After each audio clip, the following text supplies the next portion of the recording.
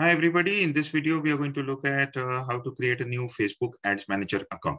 So let's begin. I start the screen share and um, go to my Facebook, uh, okay, Facebook page. I shut this whole thing and I'm back to my Facebook dashboard, right? Um, so here is, okay, here's the, here's the idea. Let me just take this to the top left hand because all the action happens on the right side panel and on the bottom left hand side. So again, I go to the nine dots, I create a Facebook, I, I ask them to create an ad. Uh, I've already created a page. Now I what I want to do is create an ad.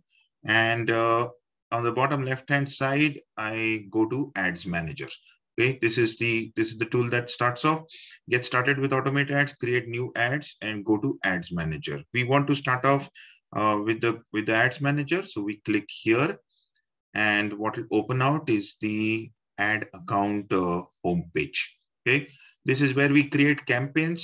Um, so I have to accept. Um, okay, um, you clarify that you've done all this. Let me just take this up and I have to accept their terms and conditions.